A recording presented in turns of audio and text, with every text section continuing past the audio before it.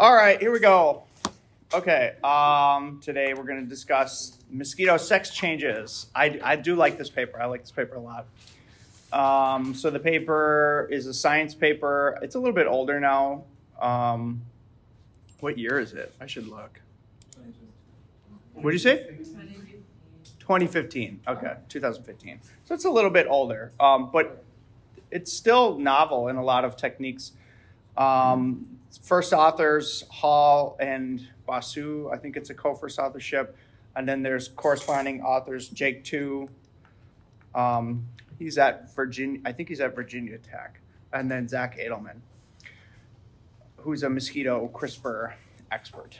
Okay, so let's discuss the paper. Um, what is the question that they are studying? Let's first outline that. Help me out. What is the sex determining factor? genetic factor that influence on the Yes. determination in insects. So essentially, how is sex determined in Aedes aegypti? That's probably a good way to say it. Because all insects, not insects in general, because all insects are going to be a little bit different depending on what sex determination mechanisms they have. Why study this? Because only females transmit disease. So females bite, right? So so maybe like a weird idea would be, well, let's just like sex change all the females to males, right? Like that would be an interesting idea. That is actually like an idea, uh, and you could potentially do that. Why else study this?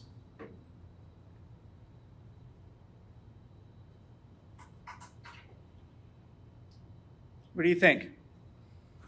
There's a, there's a few other reasons. Um, yes, I would- consider that sort of within the line of this point one. Um, it, the, the goal is to definitely sort of use this somehow for biological control or like maybe genetic control. Maybe to use this as like a jumping off point for further research? Into what?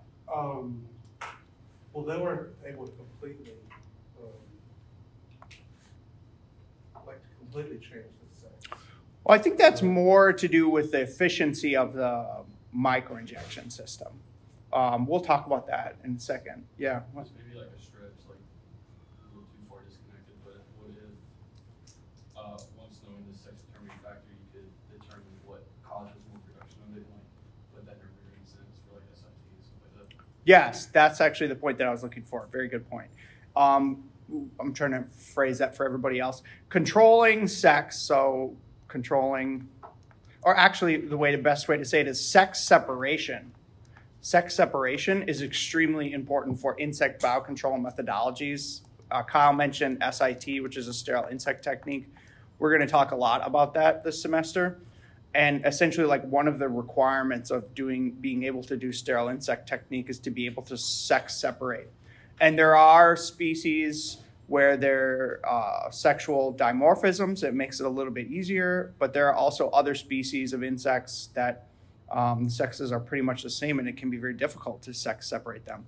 So uh, my point is that sex separation in general is kind of like a basic area for research and being able to do it with a genetic mechanism either you just kill all the females or perhaps in this case you convert all the females to males that would be super useful for actually implementing sterile insect technique. So in a rearing sense mass rearing a whole bunch of mosquitoes and then all of a sudden at the flip of a switch you change them all to males. That would be super helpful. And then also final point um, sex determination.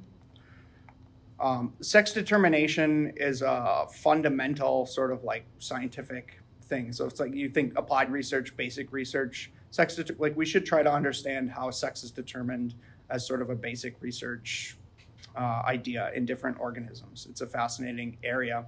And then also the evolution. This paper also touches on the evolution of sex and evolution of sex chromosomes, which is really interesting from a um, basic science standpoint. So these are all kind of the reasons why I thought this is very important.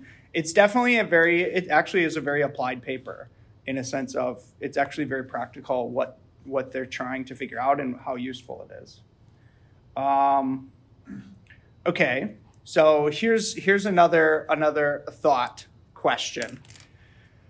The genome of Aedes was sequenced before this paper. Like, why, why didn't we know? Why didn't we know uh, how sex was determined just based on the genome? Like, based on genomic comparisons? database probably wouldn't flag it as anything that was in other organisms. Uh, That's not They- why. They mentioned something about there being so many repeats, Yes. um, What's the issue with repeats and what is a repeat in They're DNA? hard to sequence. They're hard to sequence. So we talked a little bit about repeats with the CRISPR stuff. Um, why do you think repeats create situations where you get like it's it's hard to sequence? And actually, what's really hard is the assembly, the assembly of the chromosomes and the genome. Probably has a hard time locating where it's supposed to go, when you're doing the assembly, if it's repeating it. Yeah. So assembly of genomes is essentially run by algorithms, and the computer algorithms just essentially you get what are called reads. Okay. So you'll get a read of set length one to n base pairs. Okay. And essentially you can assemble a genome from scaffolds, and the computer algorithm will figure out where the reads align and then based on that it will essentially like align and construct a genome okay and so if you have a bunch of chromosomes, you'll essentially just get a bunch of reads until you go from the left to the right of the chromosome. And if you have multiple chromosomes, you'll do this a few different times to get all the assemblies. Okay, this is what's called assembly. So this is not only do you like sequencing involves multiple steps. It's not just collecting the sequence. After that, there's a long process of assembly. Okay. And if you have regions where there are repeats, so it's the same thing, like imagine you have a bunch of these red things, okay? The algorithm does not know where to put these because essentially like you can't you can't you can't derive this simple sort of like overlapping structure where there's unique overlaps if there are a whole bunch of repeats. So this is a huge problem for assembling eukaryotic genomes. And typically, what happens, what happened with the Aedes genome assembly, um, and fact check me, correct me if I'm wrong, but essentially, like what happened with the Aedes genome is they sequenced the genome, most of the genome was assembled, okay?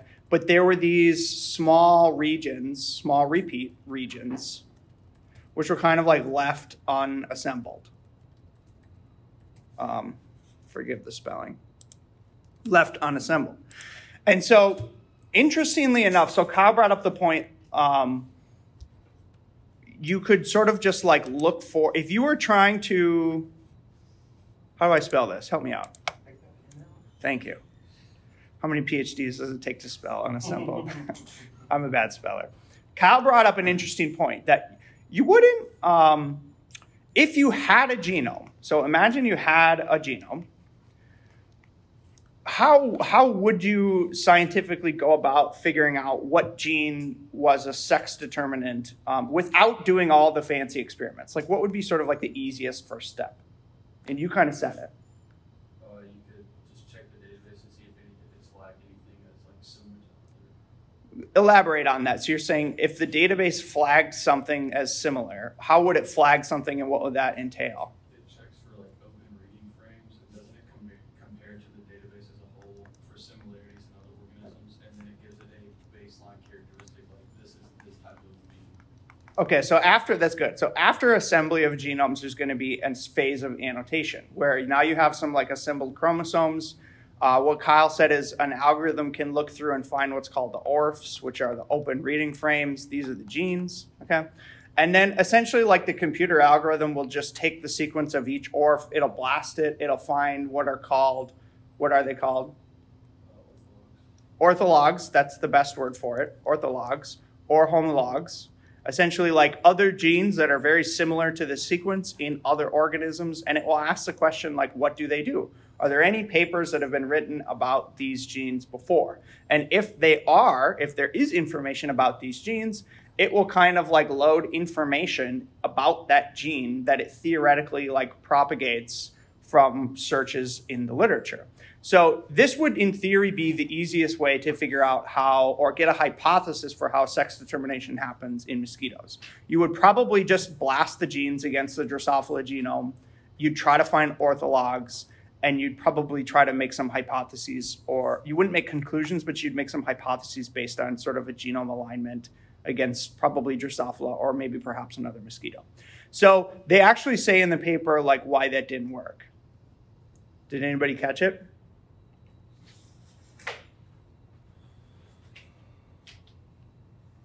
And it, it has to do with the repeats. I'm just kind of asking you to connect the dots.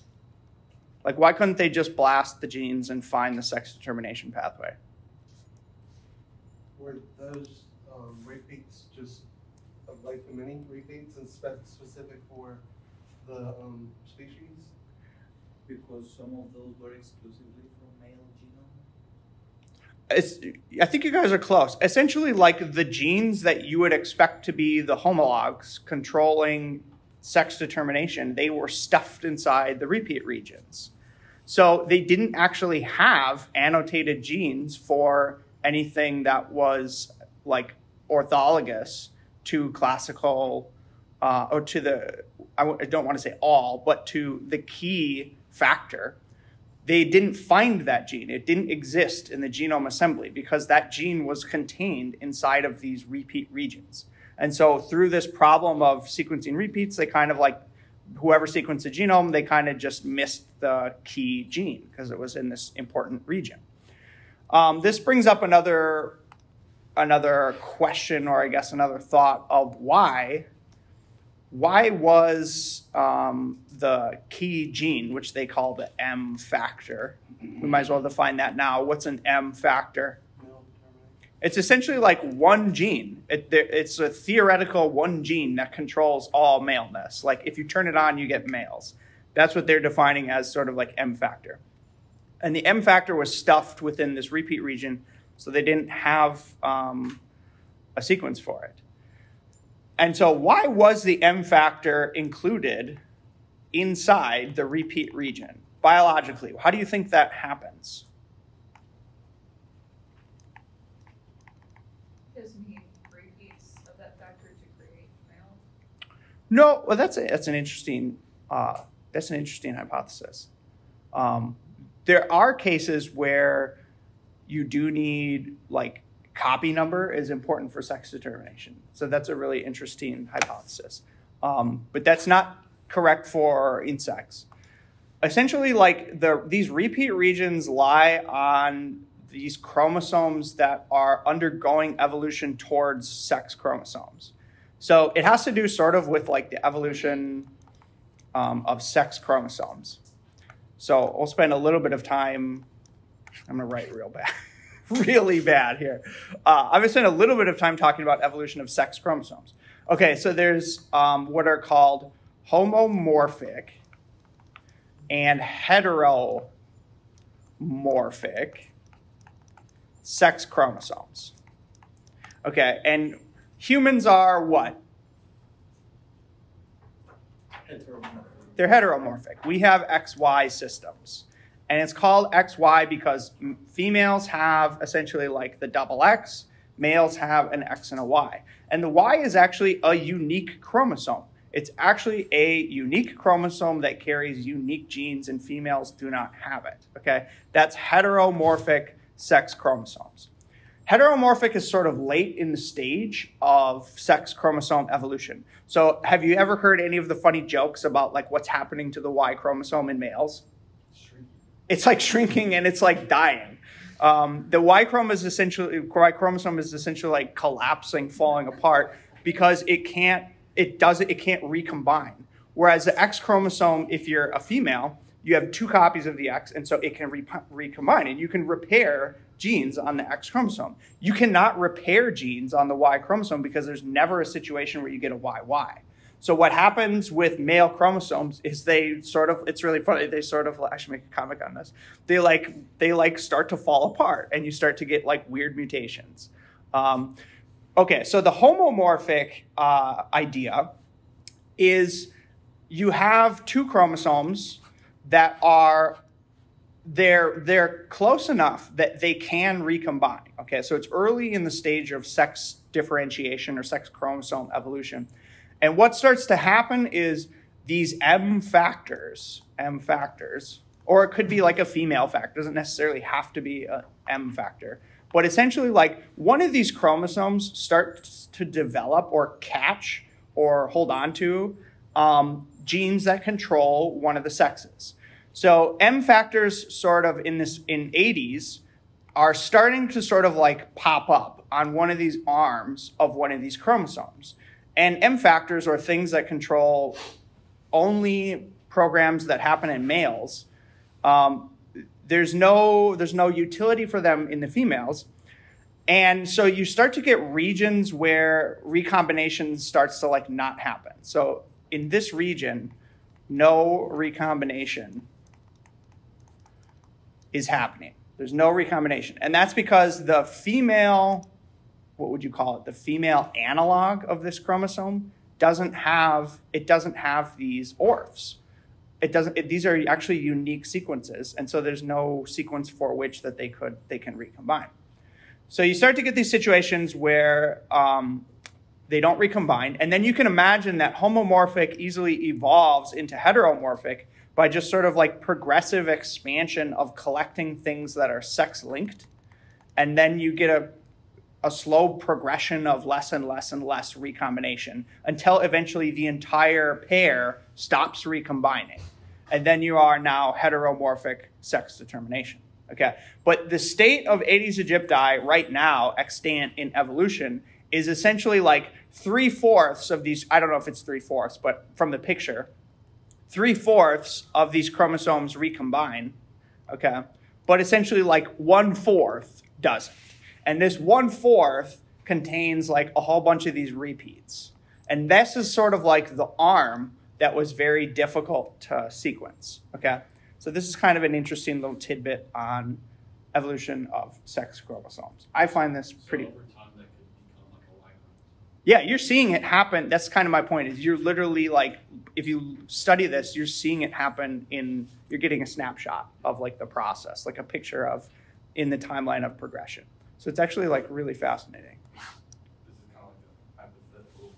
When would you see a more like, what would you see in the instance that it does become like a Y chromosome? Will that, do you think that'll affect like the, the physiology of the, the male insects as they're collecting more of those sex-linked regions? You mean like what? What is the final outcome once they're completely separated? What do you think? Yeah. That's an interesting question. I'm. Um, Do you think you get a lot more? I mean, that's it. It, it might. Uh, I don't know. I was going to say. I mean, that's a that's at the point at which you start would start to see like a degradation, right? Because it can no longer recombine. I don't know. I'm not a sex chromosome expert. I'm going to dodge that question for now. Good question though. Okay. Um. Okay, so now there's a let's let's quick a few more definitions that should help understand the paper. M locus versus M factor. What is they use both of these terms in this paper and they're quite important actually. What's the difference between M locus and M factor? Is M locus just the region of? Yes, M locus is this region in this homomorphic sex chromosome that is not recombining. And you call it the M locus because there's multiple there's multiple genes there. There's multiple genes on that part, that arm of the chromosome. Whereas M factor is kind of like what we said. It's like the gene, the gene, the single one that controls maleness. Okay. So that's the difference. Is one's a region, one's an actual gene. And the region contains, in theory, the gene, the M factor gene. And when they started the paper, they did not know what the M factor was. That's why this paper is important. They discover it.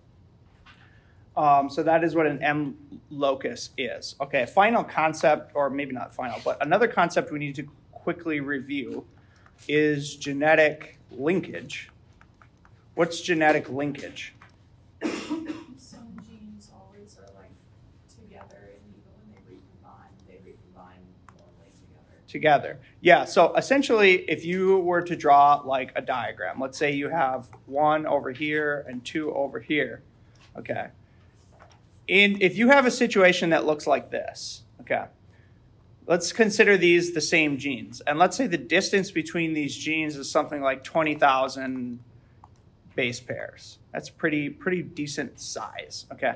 And let's say in condition 1, the distance between these genes is only 1,000 base pairs. Just by understanding like probability rolling the dice, is it more likely for a recombination if a recombination hits? Is it more likely for it to hit in a space that's 20,000 or 10, 1,000 base pairs? One or two? Wait. Okay, we're not understanding something. So recombination in theory is just pretend it's random, like random recombination. You're just rolling a dice to determine the site of recombination. Is it more likely recombination will happen between these two genes in two or between these two genes in one? Let's everybody say it. Two. Yes, it's much more uh, just this is just simple math. Like you're much more likely you have essentially 20,000 chances here and 1,000 chances here. Like it's a little bit more complex than that probably. There's probably some site specificity, but this is essentially like linkage. It's that genes that are very close together are very unlikely to get broken apart by recombination. Genes that are far apart, you'll see a lot of shuffling and a lot of mixing because it's easy for them to get split apart. And oftentimes, things that are linked together function together. Like sometimes there's an evolutionary, essentially, like advantage to that. And so you can imagine as this homomorphic region where there's no recombination is sort of expanding, it's essentially like acquiring a whole bunch of male sort of like factors, not necessarily the male factor, but a bunch of things that are important for being a male that are linked together genetically on this site of the chromosome okay? And it becomes harder and harder and harder to break those things apart as they get as they're close together etc okay so that's genetic linkage. Essentially things genes that are close together it's hard to break them apart because there's just it just doesn't um, happen as in high probability. Okay let's see we got that. Okay so final thing about the m factor their definition, they actually give a definition of an M factor. They say it requires a certain set of things. What are those things? Did you catch that? Yeah, um, it was like um, close that close linkage. Yes, it's a, it, they they actually say quote unquote persistent, persistent M linkage. So so that means essentially if there is any M factor, it must by default be linked to this homomorphic M locus region. That's characteristic number one. What, what were you going to say? It has to be present in the embryonic stage. Yes. So I, instead of present, I would say expressed. So everything is going to be present because all genes are going to be present in all the cells in terms of the DNA. But whether the gene is on or off, it must be on, it must be expressed. So making RNA must be expressed at early embryogenesis. And this is because sex is determined quite early in development. Like it needs, at some point, you need to decide are you a female or a male, and you need to actually spend the time to develop those organs. Otherwise, something very bad is going to happen. So, um, essentially, a M factor by default must be expressed at early stages in embryogenesis. Um, and then the final thing, these are sort of like the two requirements. And then the final thing that they're sort of adding in is their hypothesis that there must be just sort of like one factor. So I guess the final thing would be it controls controls maleness. So this is their sort of like curt definition of actually like what an M factor is. Um, okay, final piece of background information before we start digging into the paper. Um, I just want to sort of give like a brief primer of sex determination in insects. Every insect is like really different. Insects are so diverse, there's so many different things going on, but there are some sort of like common patterns. Oftentimes, what's involved is alternative splicing. So, what do I mean by that? Who knows? It's when a ribosome, you can have multiple open reading frames that code for basically different things using the same space. Yes. So eukaryotes have what are called introns and exons. Which ones exit the nucleus? Exons exit the nucleus. That's my little that's my little rhyme. Exons exit the nucleus. So exons become messenger RNA. Introns get spliced out. So in eukaryotic genes, when this thing gets transcribed, you'll get this like long transcript, okay? And then splicing will happen and it will reduce it. Here, there's one, two, three exons. It, splicing will reduce the transcript to essentially your three exons. And then the mRNA will exit the nucleus, go into the, find the ribosomes to get translated. Okay? So a brief primer on splicing. Alternative splicing means that eukaryotes have developed um, vast ways to increase the diversity of the amount of things that they can make based off the same sequence. So if you have one gene, but you alternatively splice it in different ways, you can produce many different products. So one alternative splice of this particular random gene might be one, two exons, and then you just leave out the third exon. And this is a totally different translated protein than this one because you're leaving off the entire C terminus. Okay? Or you can get situations where exon one perhaps gets made and then two gets spliced out, but three is left in. Okay, and this would also be a completely different protein that would be missing essentially this middle chunk.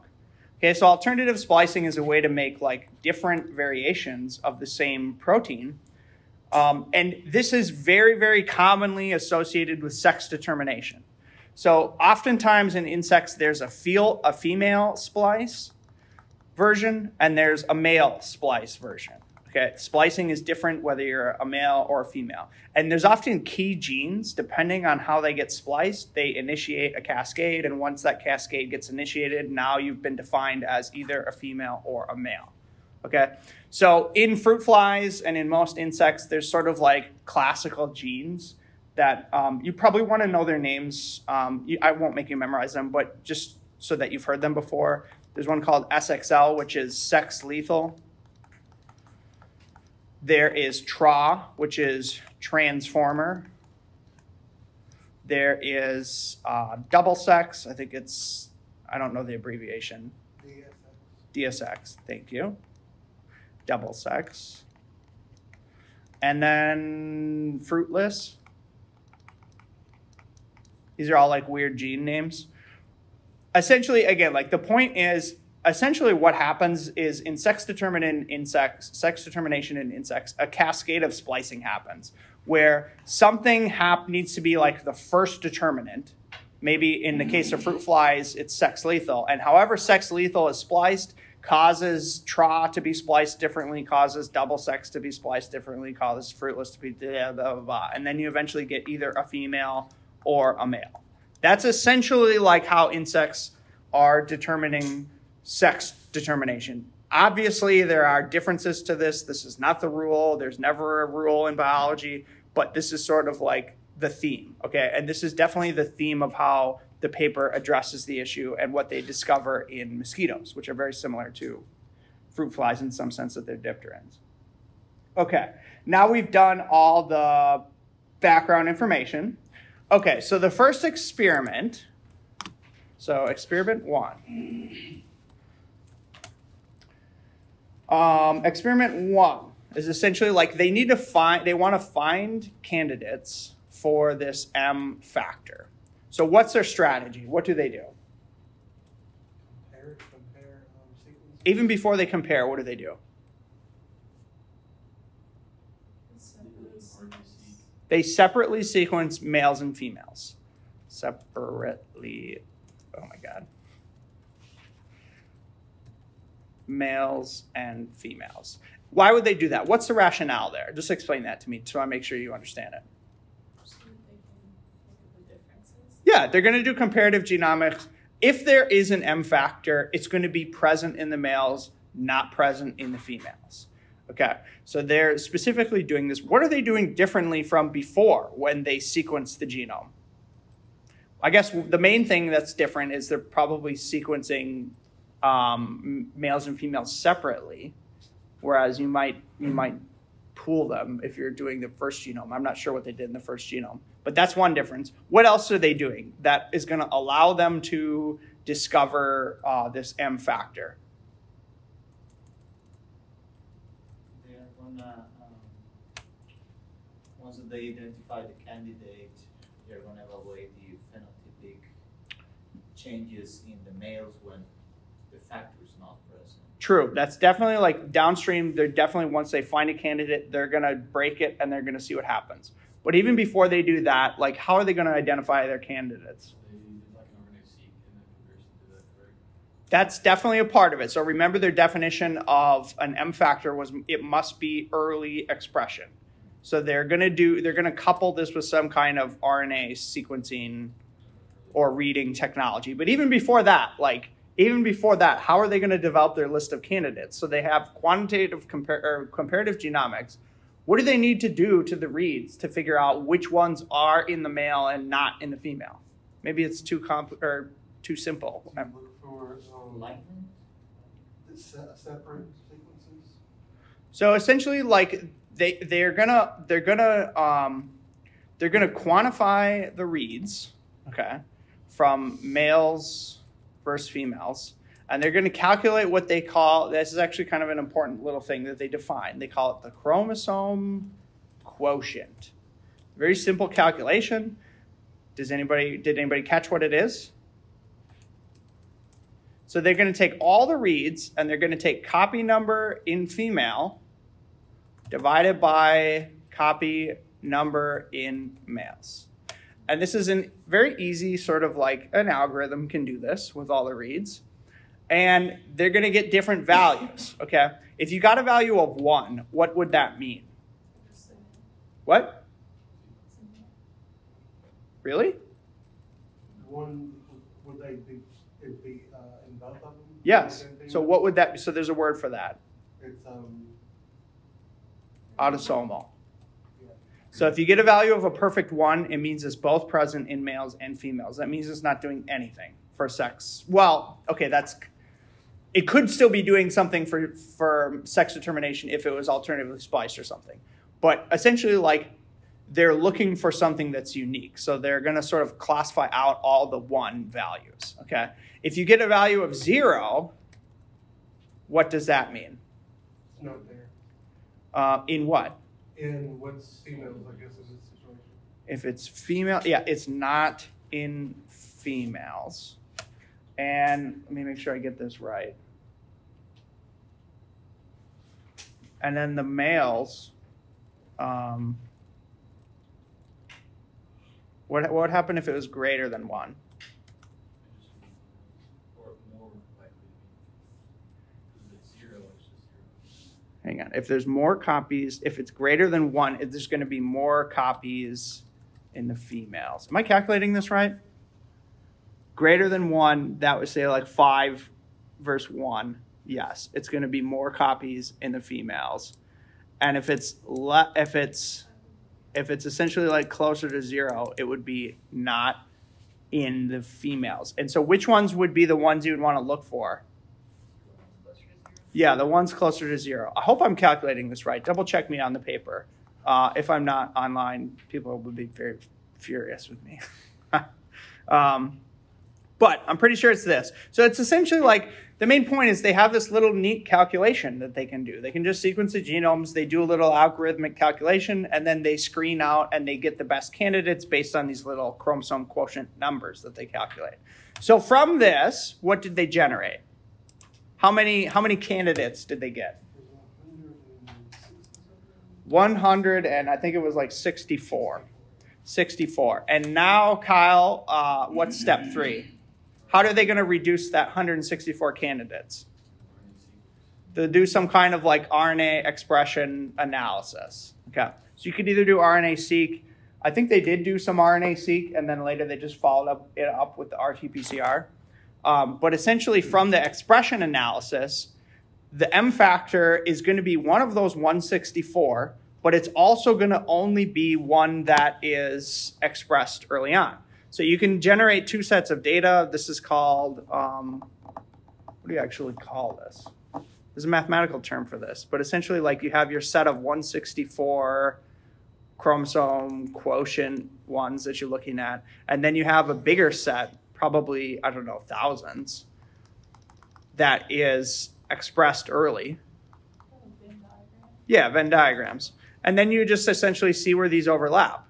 Okay, so if you see where these data sets overlap, you redraw these circles. You see where these data sets overlap.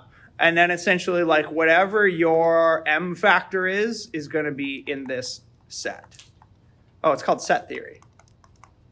A complicated mathematical way to do something very simple.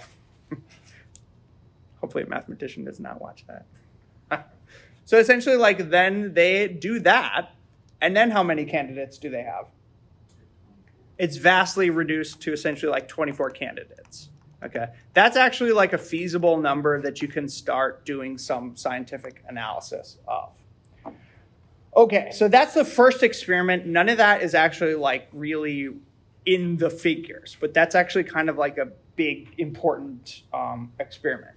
Okay, so now let's look at their figure one and let's explain this data. Let me pull this down here. Okay, so here's figure one. They now do a whole bunch of other experiments. Explain to me what's happening in A. This is PCR results. It's very simple. This is just a straight up PCR. Do you have the gene or not? Okay, and they're comparing male versus female. And look what you see.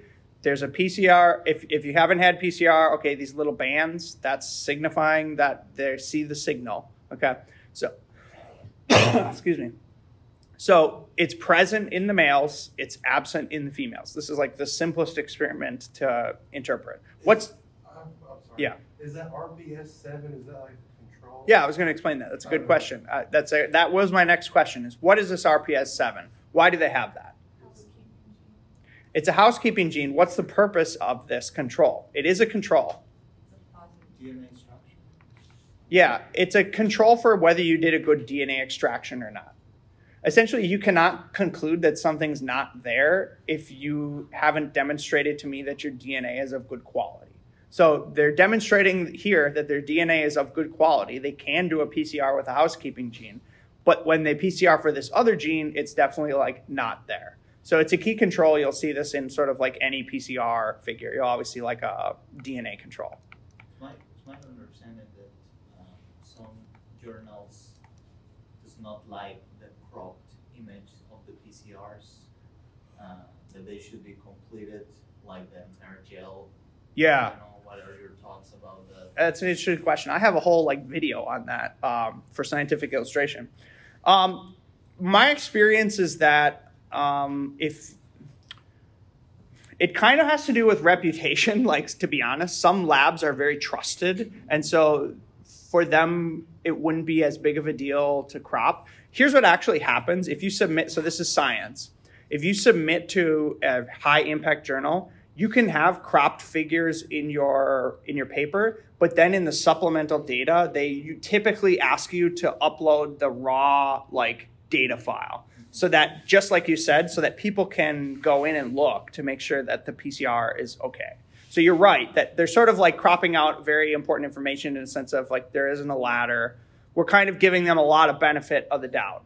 But the hope is that the reviewers reviewed it, and in most rigorous journals, you have to also upload like the raw images. That's a good point. Good question. Um, okay, let's look at. Um, let's next go to. So this is kind of like this is one of the one of like the monies. That's money. What's this one? What's happening here? What is this type of experiment? It's fish. So explain for everybody what fish is. Fluorescence in situ hybridization. And the function of fish, so it's fluorescent in situ hybridization. The function of fish is to localize a gene. Like, where is a gene on a chromosome? Obviously, that's important in this situation because they're looking for like this the location of this M factor. To understand this figure, though, you need to know what J2 is. What's J2?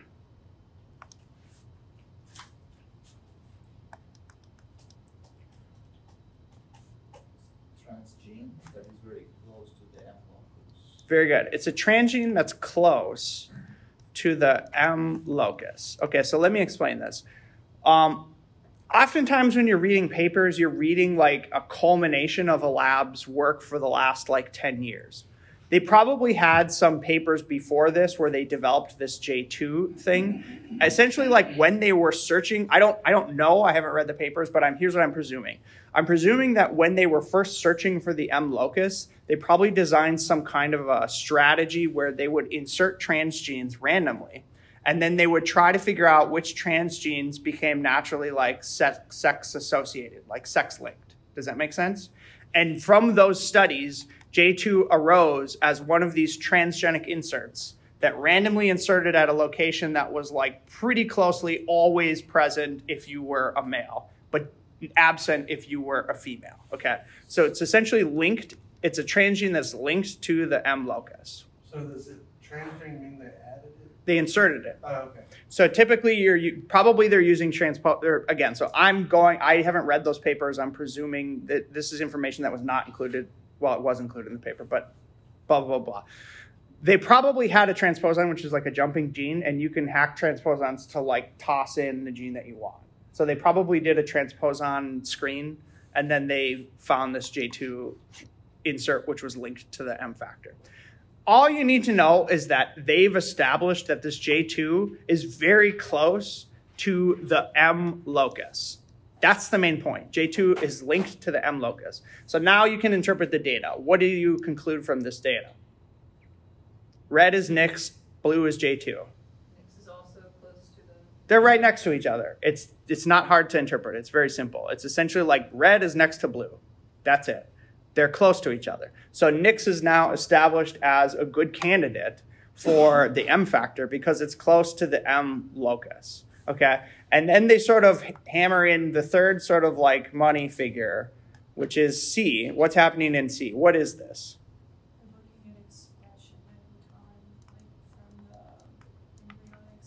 Yes, so this is RT-PCR. This is not PCR. It's measuring transcript, messenger RNA. So it's expression.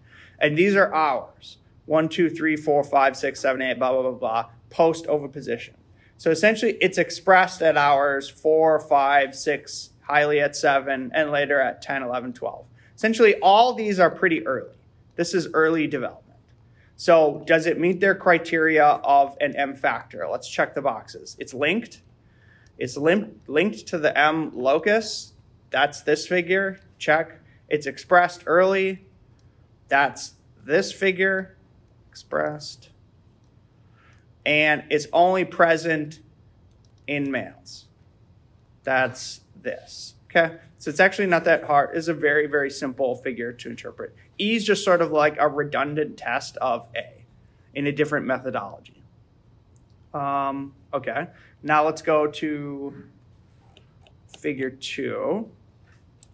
Here's where it starts to get interesting. Okay, so now Daniel, you suggested once they have this candidate, now we can start to like break it, mess with it, and see what the phenotypes are. Okay, so here D, that's the that's the money. Essentially on the left, that's control. So here's a here is male. Okay, male. On the right, that's female. Essentially, like here's what females look like. We just had the lab, which is great. Here's what a female sorsus or ovipositor looks like. Here's the female antennae. They're not so bushy. Here's a male. You can see its palps, and you can see its bushy antennae, and you can see its gonostylus little claw things in its reproductive organs. Okay, so it's essentially like these are the things you want to look at. And what are they going to do here? What's the experiment? So they, they used uh, CRISPR-Cas, right, to Yeah. erase nicks, like doing some kind of knockout. Yes. Uh, male embryos, Yes. and those are the fe- feminine. No, wait, no, those are the experiment, and then the columns in A are like the outcomes. Yes. Which were feminized, malformed, or typical or not effective. Yes, very good, very good, Daniel. So they're going to micro inject. Um, they're going to micro inject an RNP, which we discussed last time. So it's the ribonuclear protein complex. It's got the Cas9. It's got some guide RNA, and the guide RNA. Guess what they engineered it to target? Which is they gave it a name. What was its name? Nix. They gave it a name. It has some kind of like uh, Greek mythology connection, um, something like that.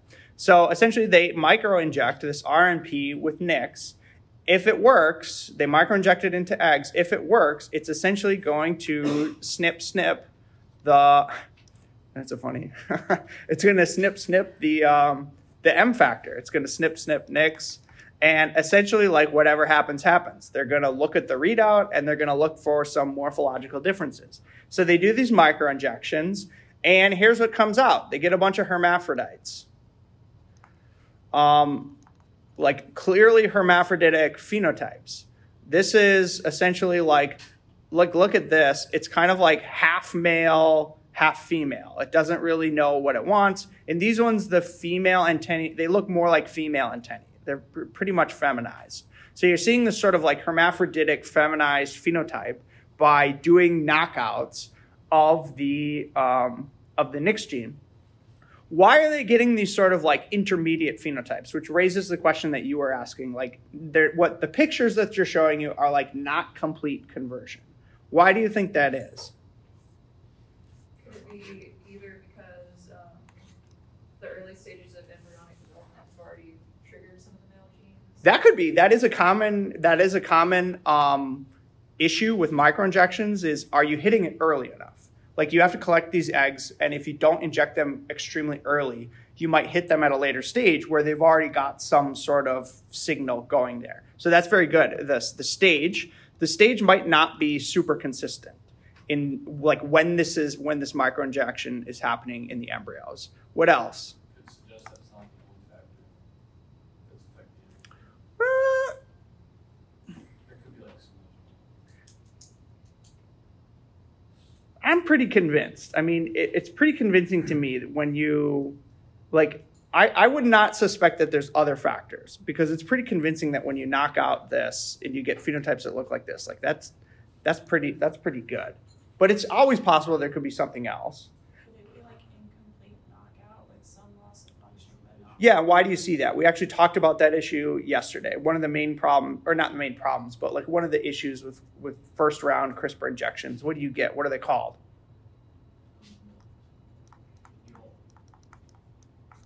Mosaics. So when you do a CRISPR microinjection first round, if you're a lot of times if you're like hitting somatic tissues, you, it doesn't hit them all totally efficiently. So you're probably seeing like mosaic effects. It's not that it's not. It's not that. That's why I'm not as inclined to think what you think or, or what you thought is because you're probably just seeing mosaic effects. Um, and so you're seeing effects where some of the cells got hit with the modification, and that also has to do with the stage, which is what um, Claire brought up.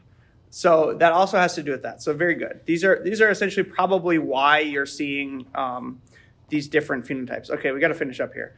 Um, essentially, this this is essentially. Remember, I talked about how they have these alternative splice variants, and some of these are male forms and some of these are female forms. And in the hermaphrodites, guess what they see? They see like they should be the male form, but they see an increase in the female form. So essentially, like this is they're seeing female specific splice variants of this sex determination pathway, which suggests that they've they've really hit the pathway pretty good. This is essentially like expression analysis. Like you might look like a female, but are you actually expressing genes like a female? And it's essentially showing you that expression patterns of, of female specific genes um, get upregulated in these hermaphrodites where they're knocking out this male factor. Okay, and then the final experiment, they do it the reciprocal way, which is what? It's kind of the same experiment, but like let's do it the opposite way.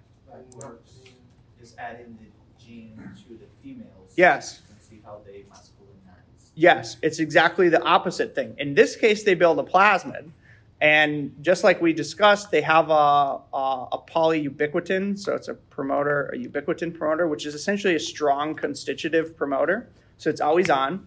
And then they just put the Nix gene upstream of that promoter, and they microinject this plasmid.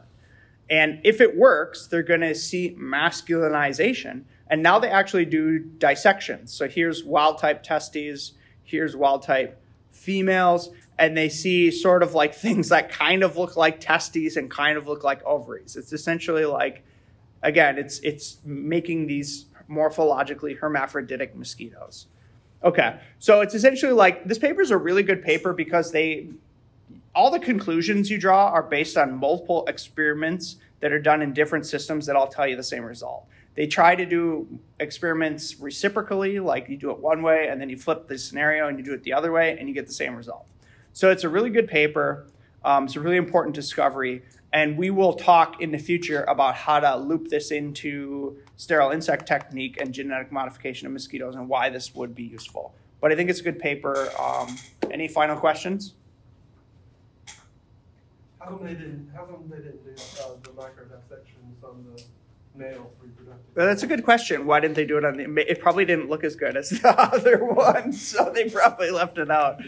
That's a funny They're worried about sterilization, sterilization. yeah, on the females, What do you mean? to see if it like could change it, but just even like a small like change could disrupt the ovaries enough that they won't produce any offspring. Do you think that's why they were worried more about it on the, this particular part? Oh, I don't think they're making. I don't think. Are, are you talking about like if they would make like F ones or F twos and like try to breed the line? Well, you can't breed a line that's all males.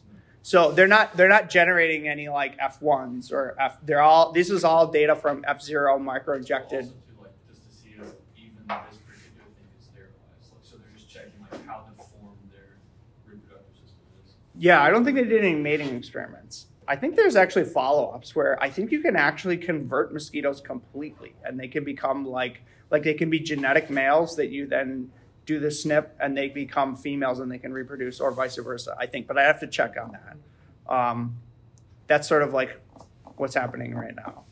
Okay, Is there a possibility that they could like pass on the systems that they've inserted into the mosquitoes? hang on. Let me conclude the meeting.